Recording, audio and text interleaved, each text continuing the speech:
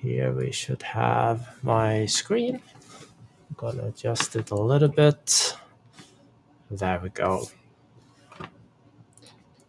So for example, for those of you that are like to write PowerShell scripts or use PowerShell script a bunch, you might have seen that uh, the PowerShell org started to post uh, videos from their latest conference.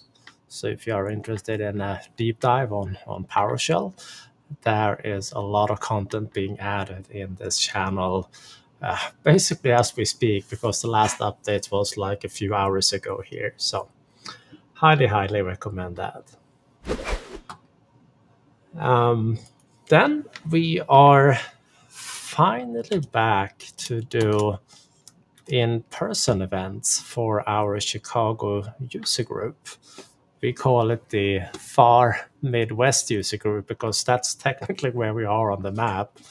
But long story short, on June 6th, we will be at the Microsoft office down in Downers Grove, which is just a, well, quite a stone throw from Chicago City, but still in at the suburb uh, to Chicago here. So uh, if you live in the area and want to learn a little bit more about uh, the cloud journey, migrating from AD to uh, Entra and a little bit of uh, an endpoint privilege management deep dive, as well as security and Intune deep dive for Microsoft. Uh, please join us. It's uh, spending an afternoon in the Microsoft office.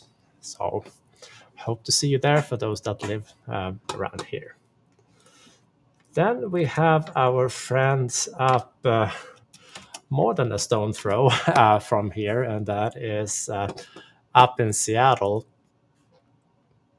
Uh, they are having a user group meeting on Friday.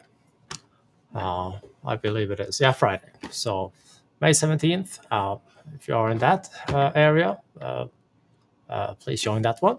Um, I attended myself back in March. It's a great venue, great conference as well. So, or great user group as well. So please go to that one. And finally, we have our friends in Arizona. They are also having user group meeting on on Friday. So it's uh, Mike Terrell and others uh, managing this user group. So uh, by all means, go ahead and attend that one. Also, a little bit of uh, uh, tips and tricks from the MMS conference together with some regular sessions as well. Then I stumbled across, and um, and it was actually uh, Andrew who sent that link development to me in an email. So Andrew is with us in spirit here, even though he couldn't join uh, uh, in person, so to speak, or during the call. It's this one here. A nice little uh, review of the Intune cookbook that Andrew Taylor put together. So uh, always a good read.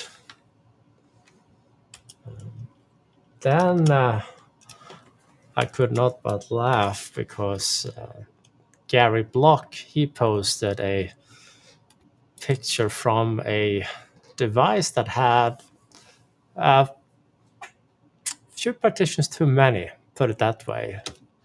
I've never seen anything alike but apparently uh, this was a device came from an OEM and it had uh, a few partitions in it.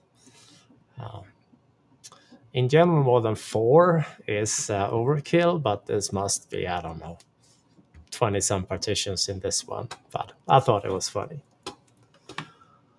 Um, and speaking of funny, this week the academy is uh, uh, have a, distinguished guest, and that is Richard Hicks doing his uh, certificates class. And I was editing the videos last night uh, from the recordings, and I stumbled across this slide here, and uh, I think that is like the best uh, explanation ever to use certificates they may not be too fun to work with and they can be challenges to work with but uh, indeed i totally agree with richard there So good stuff.